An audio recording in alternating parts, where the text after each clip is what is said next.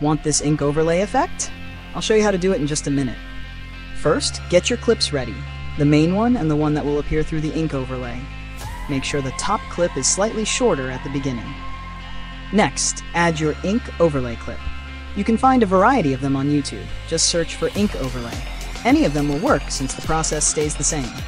If your ink overlay is longer than your clip, just right click on it, go to time, time stretch, and lower the number, try 50 or 60. Lowering the stretch makes the clip play faster. Next, search for color key in the effects and presets panel. Then, simply drag and drop the color key effect onto the ink overlay clip. Use color key to remove the background from the ink overlay. Then adjust the color tolerance according to your clip, and tweak edge thin and edge feather for a cleaner result. Now for the most important part.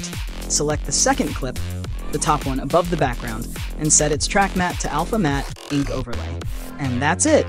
You've got your ink overlay transition. You can now adjust the scale and position of each individual clip by selecting them to get the perfect look.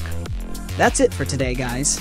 Drop a comment on what tutorial you want next, and don't forget to subscribe if you're new. Thanks for watching, and I'll catch you in the next one.